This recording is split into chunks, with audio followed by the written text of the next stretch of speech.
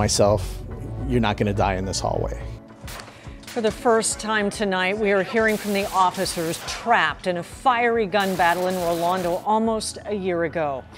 At today's True Blue luncheon, the three officers said one piece of equipment saved their lives.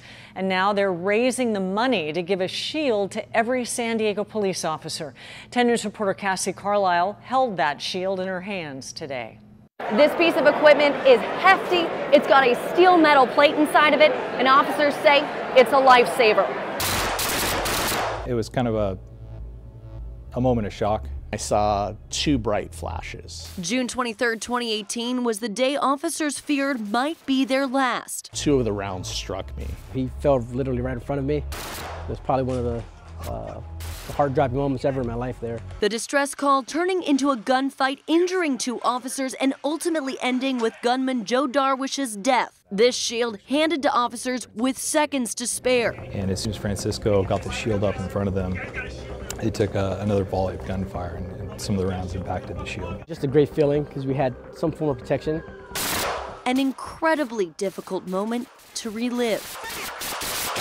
The shield absolutely saved our life. And, uh, sorry.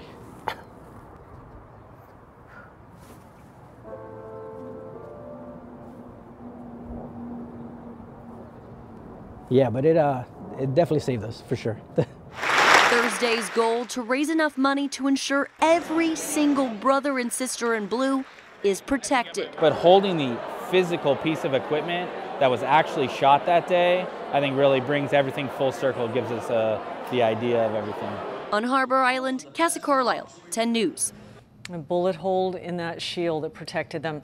The 19-year tradition is hoping to raise $115,000 today for the San Diego Police Foundation. That's the nonprofit that supports things such as SHIELD and the canine dogs for those officers. Fundraising will continue at the next event. That is the Gold Shield Gala. It's on September 28th.